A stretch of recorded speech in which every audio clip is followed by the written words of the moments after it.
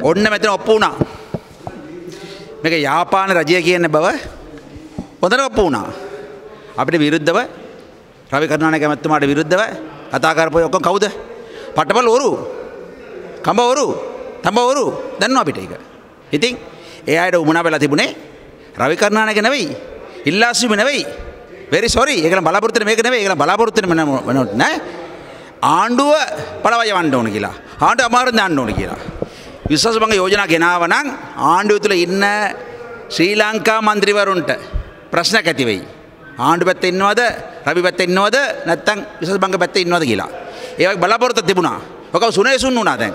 දැන් අපේ ඇමතුමා යහපාලන ආණ්ඩුවක් ඇටියට තමුන්ගේ නිවැරදිභාවය තවරු කරන විදියට තවත් ඒ සම්බන්ධ විමර්ශන අවසන් වෙන විදියට එතරකම් දැන් ඉල්ලාස්වර ඉන්නවා.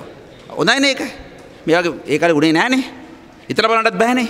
එතන කෑගාපු අය රවි කරුණානායක මහත්මයා ඔබලාගේ මාධ්‍යය කෑගාපු අය දැන් සභාව කෑගාපු අය කවුරු හරි සදාචාර අයිතියක් නෑ කෑ ගන්න. කතා කරන අයිතියක් නෑ. ඇත්තටම කියනවා නම් රවි කරුණානායක මහත්මයා නෙවෙයි ඊට පෙර ඒ ඔක්කොම ඉල්ලාස් වෙන්න ඕන. ඒවයි ඇත්ත යථාර්ථයේ රටේ ජනතාවට දන්නවා. දැන් අපි නිකන් ඉන්නේ වැඩට බහිනවා. මොකද දැන් රවි කරුණානායක මහත්මයා ඉල්ලාස් වෙලාද ඔප්පු කරලා ඉවරයිනේ.